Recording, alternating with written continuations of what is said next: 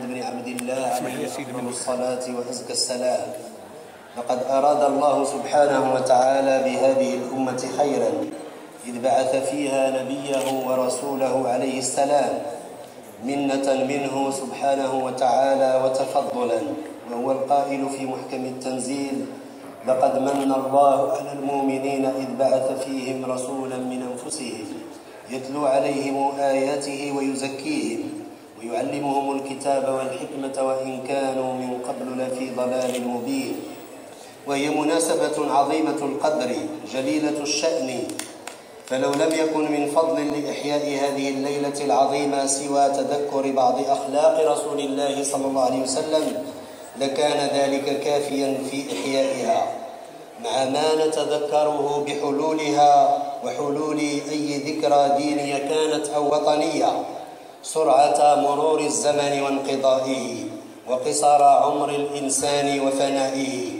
فقد طوينا صفحة سنة كاملة بأيامها ولياليها وساعاتها ودقائقها بحلوها ومرها بما قدمناه من أعمال صالحة تنفعنا غدا يوم لقاء الواحد الديان وبما ارتكبناه من ذنوب ومعاصي يجب التوبة منها في كل حين وآن ولنجتهد ما بقي في العمر بقيا ونعد العد ليوم قال فيه الحق عز وجل يوم لا ينفع مال ولا بنون إلا من أتى الله بقلب سليم. ونحن نعيش آثار هذه الذكرى وأصداءها ونتفيأ ظلالها. ينبغي أن نتذكر التضحيات الجسام التي قدمها نبي الرحمة صلى الله عليه وسلم وهذه الأمة. محمد عليه أفضل الصلاة وأزكى التسليم. في سبيل تبليغ هذا الخير للعالمين. ولولاه عليه السلام لبقي الناس في ضلالة ظلماء وجهالة عمياء. إن محمدا عليه الصلاة والسلام أرحم بنا أرحم بنا منا بأنفسنا. ولولاه لعاش الناس كل أنواع العنة والمشقة والحرج.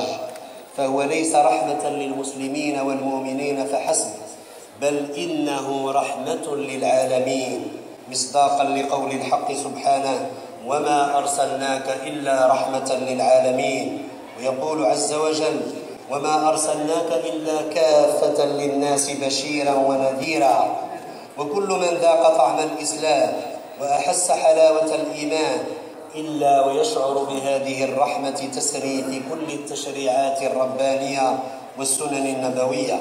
هدفها الأسمى وغايتها العليا إسعاد الإنسان في العاجل والآجل. قال تعالى في محكم تنزيله لقد جاءكم رسول من أنفسكم عزيز عليه ما عنتم حريص عليكم بالمؤمنين رؤوف رحيم.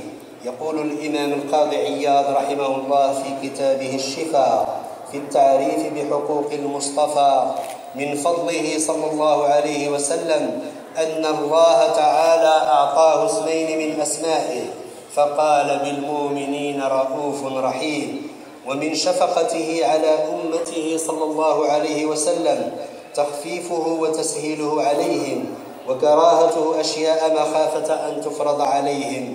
قالت عائشة رضي الله عنها ما خير رسول الله صلى الله عليه وسلم بين أمرين إلا اختار أيسرهما.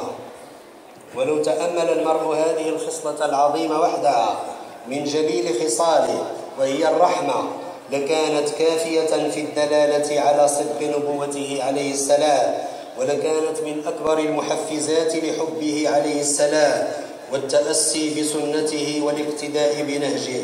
فقد تحمل كل أنواع الأذى وذاق ألوانا من المشاق والصعاب في سبيل تبليغ هذه الرسالة. وصبر على ذلك كله. يقول القاضي عياض وأما الحلم والاحتمال والعفو مع المقدرة والصبر على ما يكره هذا كله مما أدب الله تعالى به نبيه عليه السلام.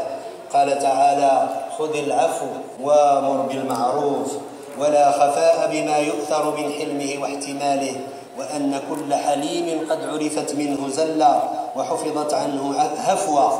وهو عليه السلام لا يزيد مع كثرة الأذى إلا صبرا وعلى إسراف الجاهل إلا حلما. انتهى كلامه. وغير هذا كثير من الصفات الجليلة والخصال العظيمة التي أجمل الحق سبحانه وتعالى وصف رسوله عليه السلام بها. فقال سبحانه وإنك لعلى خلق عظيم ولقد كان أصحاب رسول الله عليه السلام يدركون قدره ويعلمون منزلته فضحوا بكل غال ونفيس في السير على خطاه واقتفاء أثره والتفاني في حبه عليه السلام. حتى قال الصحابي الجليل أبو سفيان رضي الله عنه كلمته الشهيرة ما رأيت من الناس أحدا يحب أحدا كحب أصحاب محمد محمدا. ولا شك أيها الإخوة أن أسباب هذه المحبة باقية إلى قيام الساعة. ببقاء هذا الدين ودوامه الذي بلغنا إياه رسول رب العالمين محمد عليه الصلاة والسلام. فمتى كان الحرص على اتباعه وتحكيم شرعه إلا وكان ذلك برهانا واضحا ودليلا ساطعا على هذه المحبة الحاضرة المتجددة التي لا تنقطع إلى أبد الابدين ولهذا قال عليه السلام من أشد أمتي لي حبا ناس يكونون بعدي يود أحدهم لو راني بأهله وماله بمعنى أن يراه بافتداء ماله وأهله. ومن ثم لا يصدق ادعاء محبة رسول الله محبة رسول الله عليه السلام من غير اتباعه والسير على سنته واتباع منهجه. قال عز وجل قل إن كنتم تحبون الله فاتبعوني يحببكم الله ويغفر لكم ذنوبكم. إذ محبة العبد لله والرسول طاعته لهما ورضاه بما أمرا ومحبة الله له عفوه عنه وإنعامه عليه برحمته. ويقال الحب من الله عصمة وتوفيق ومن العباد طاعة. كما قيل تعصي الإله وأنت تدعي حبه. هذا لعمري في القياس بديع. لو كان حبك صادقا لأطعته. إن المحب لمن يحب مطيع.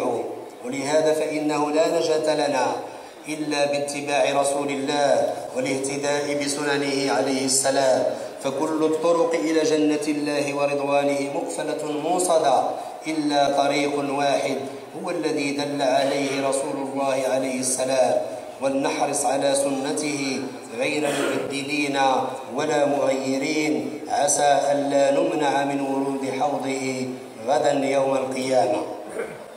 ونحن نستحضر فصولا من سيرة رسول الله عليه السلام وجانبا من أخلاقه العطرة بهذه المناسبة العظيمة.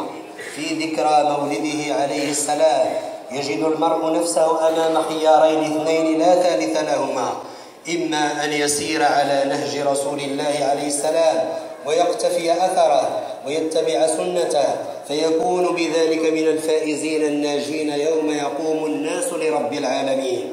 وإما أن يحيد عن هذا المسلك القويم ويميل عن طريقته وسنته وما جاء به فيكون من الضالين الهالكين الذين لم يقدروا رسالة هذا النبي الأمين عليه أزكى الصلاة والتسليم. فاللهم وفقنا لنسير على هديه. آمين. وجرت العادة المغاربة أن يتم ختم هذا المجلس المنيف بمناسبة ذكرى مولد رسول الله عليه السلام بقراءة شيء من كتاب الشفاء للقاضي عياض. يقول القاضي عياض رحمه الله في خاتمة كتابه الشفاء هنا انتهى القول بنا فيما حررناه وانتجز الغرض الذي انتحيناه واستوفي الشرط الذي شرطناه.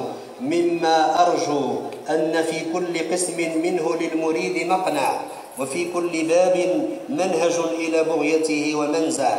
ونحمده تعالى على ما هدى إليه من جمعه وألهم وفتح البصيرة لدرك حقائق ما أودعناه وفهم.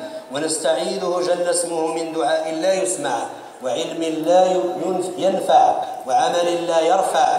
فهو الجواد الذي لا يخيب من أمله. ولا ينتصر من خذله ولا يرد دعوة القاصدين ولا يصلح عمل المفسدين وهو حسبنا ونعم الوكيل. وصلاته وصلاته على سيدنا ونبينا محمد خاتم النبيين وعلى آله وصحبه أجمعين. وسلم تسليما كثيرا. والحمد لله رب العالمين.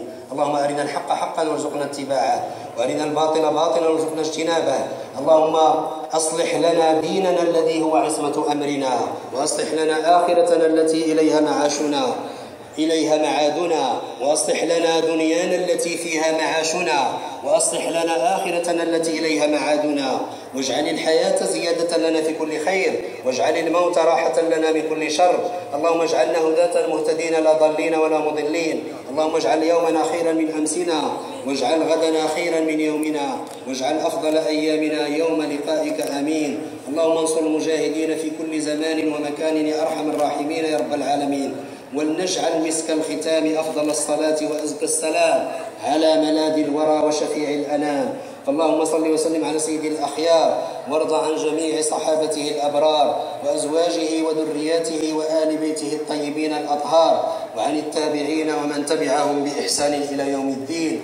وانصر اللهم من قلدته أمر عبادك وبسطت يده في أرضك وبلادك. عبدك الخاضع لجلالك المتواضع لعزك وسلطانك. مولانا أمير المؤمنين وحامي حمى الملة والدين وراعي هذا البلد الأمين صاحب الجلالة الملك محمد السادس.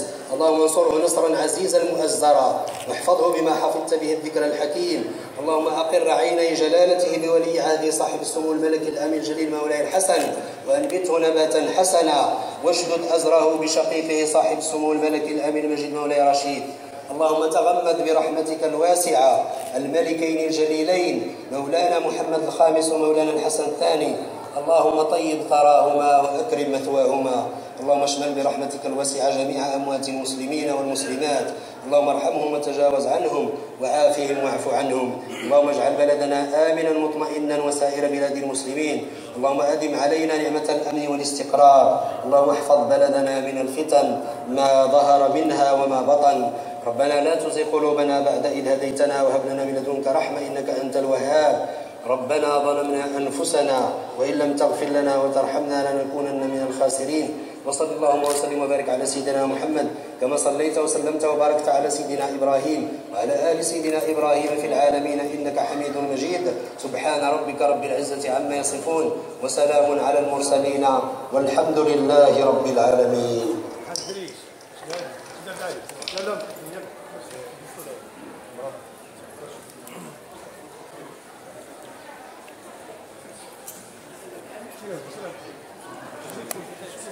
الله عز وجل الله وملائكته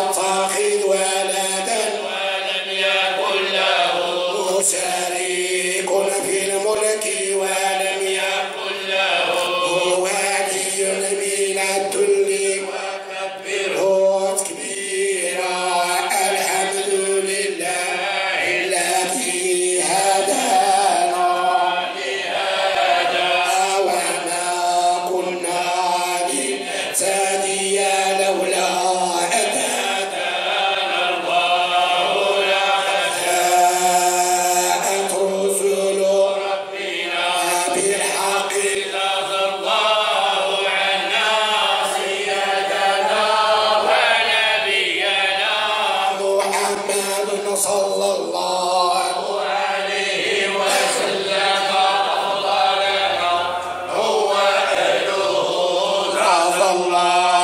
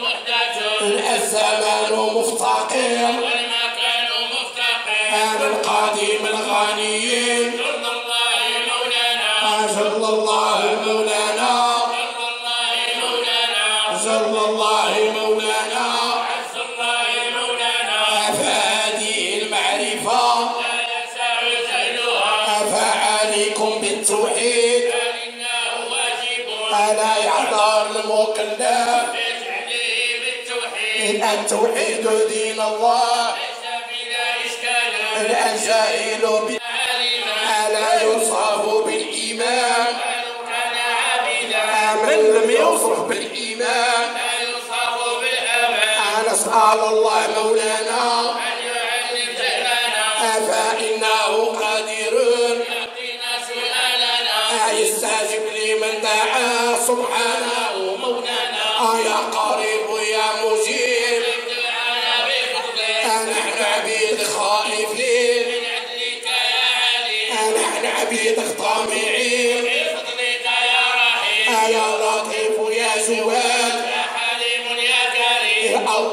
I won't happen.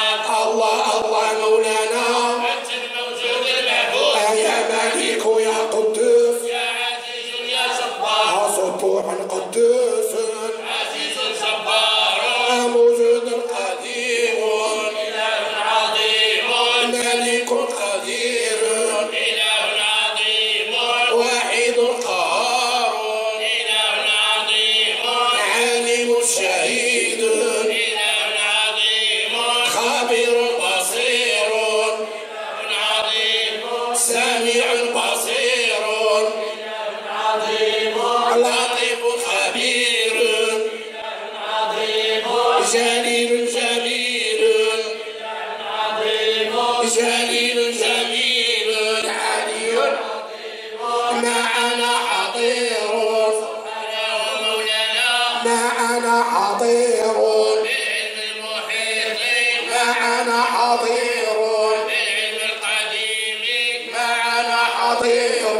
اسمع القديم حضير.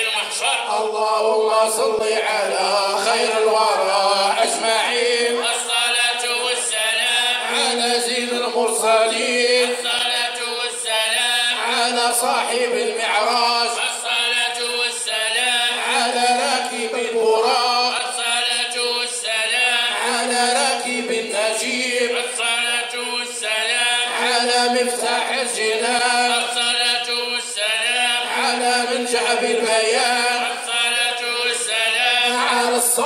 الأمين الصلاة والسلام. على البشير النذير. الصلاة والسلام. على السراج المنير. الصلاة والسلام. على حبيب الرحمن. الصلاة والسلام. على الخاضي رحمدا الصلاة والسلام. على النبي العظيم. الصلاة والسلام. على النبي الرسول. النبي المرسلين. لمن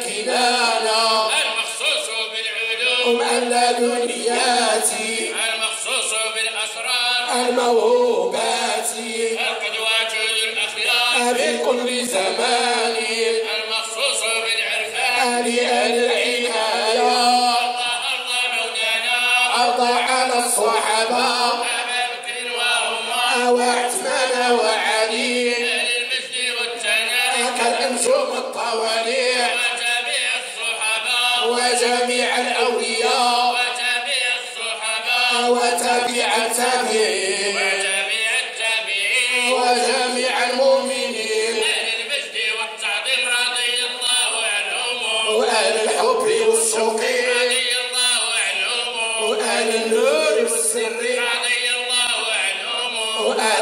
الصفا والوفاء. رضي الله عنهم وعن سادات الشرفاء. رضي الله عنهم والأولياء الخلفاء. رضي الله عنهم. رضي الله عن النبي الكريم ثم نختم بالسلام. عن النبي الحبيب ثم نختم بالسلام.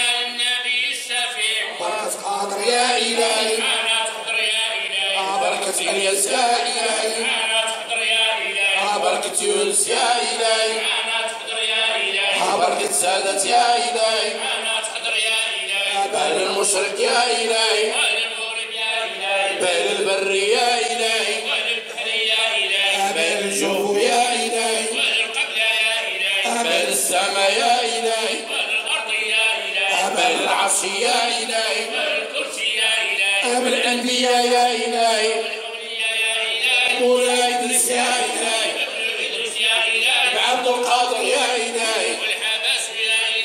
ابن هوار يا إلهي والشباب يا إلهي سيدي أويس يا إلهي سيدي معروف يا إلهي سيدي السهلي يا إلهي عبد السلام يا إلهي أبو سعد يا إلهي أبو الشادي يا إلهي والغزال يا إلهي أبا يا إلهي أبا يا إلهي أبو شعيب يا إلهي سيدي الشو يا إلهي أبو محمد يا إلهي أبو إبراهيم يا إلهي أبا عيسى يا إلهي أبو العباس يا إلهي يا إلهي أبو سكري يا إلهي يا إلهي أبو رقا يا إلهي أبو محمد يا إلهي أسيد محمد يا إلهي يا إلهي أسيد محمد يا إلهي يا أبو مهدي يا إلهي سيد الحرار يا إلهي يا يا إلهي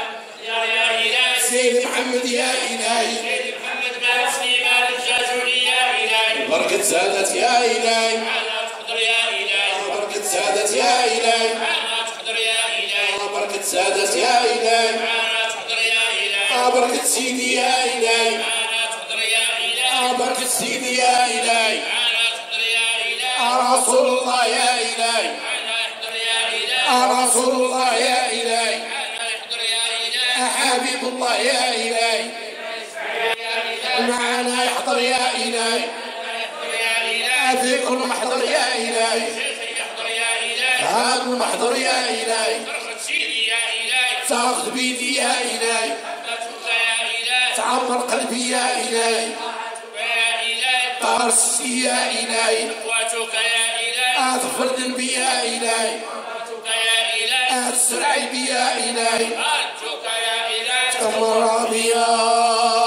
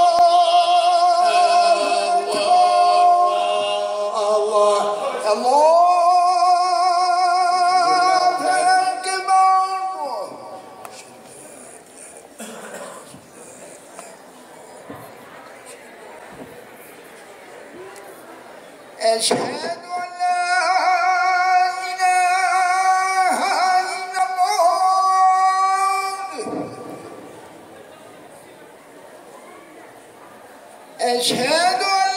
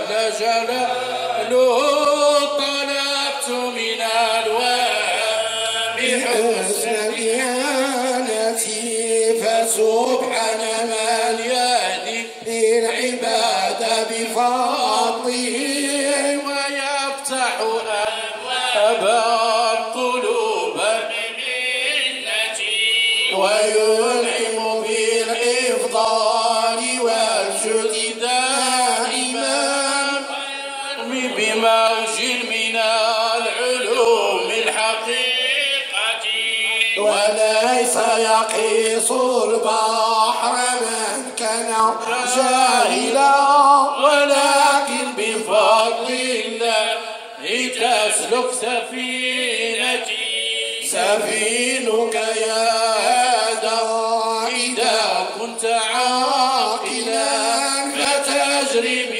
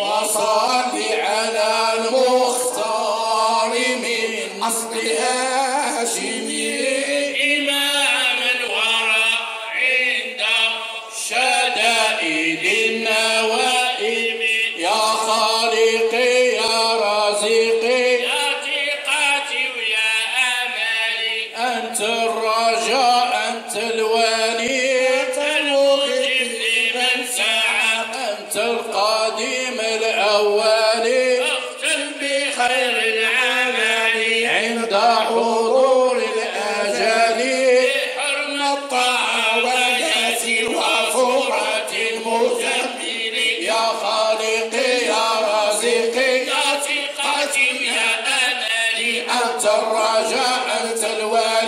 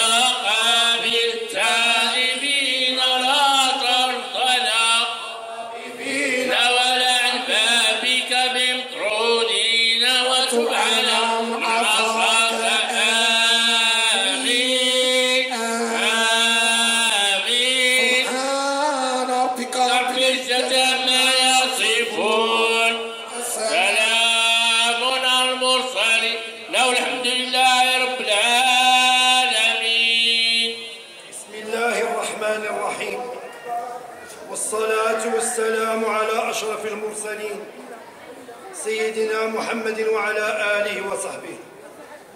سيدي عامل صاحب الجلال على إقليم كناس السلام عليكم ورحمة الله تعالى وبركاته. يشرفني سيدي العامل أصالة عن نفسي ونيابة عن السيد النقيب شافه الله وباقي الشرفاء وأتباع الولي الصالح سيدي محمد بن عيسى نفعنا الله ببركاته. أن نرحب بكم وبالوفد المرافق لكم لتشريفكم لنا بالحضور والمشاركة في احتفالاتنا بالمولد النبوي الشريف. بهذا الطريق راجين من سيادتكم أن تنوبوا عنا في رفع آيات الولاء والإخلاص للسدة العالية بالله. معتبرين أنفسنا جنودا مجندة حول جلالته. يضرنا ما يضره ويسرنا ما يسره رافعين أكف الضراعة إلى العلي القدير. قائلين اللهم يا مالك الملك يا حي يا قيوم يا ذا الجلال والإكرام. إننا نسألك باسمك الأعظم أن تحفظ مولانا أمير المؤمنين من كل مكروه وتكلأه بعينك التي لا تنام ورعايتك التي لا تضام. وهب له من الخير ما لا يعلم علمه إلا أنت. واصرف عنه السوء ما لا يعلم علمه إلا أنت. اللهم ارزقه البطانة الخيرة والأعوان الصالحين. وارزقه اللهم أريه الحق حقا وارزقه اتباعه. وأريه الباطل باطلا وارزقه اجتنابه. وكن له وليا ونصيرا. ومعينا وظهيرا وحقق رجاءه وكلل بالنجاح أعماله. واحفظه اللهم في ولي عهده وفلدة كبده ووارث سره الأمير الجليل مولاي الرشيد. اللهم أنبته نباتا حسنا واكلأه بالسبع المتاني والقرآن العظيم. اللهم شد أجر مولانا أمير المؤمنين بشقيقه الأمير مولى الرشيد وباقي الأسرة الملكية الشريفة. وتغمد اللهم برحمتك وواسع مغفرتك جلالتي المغفور لهما بجودك وكرمك.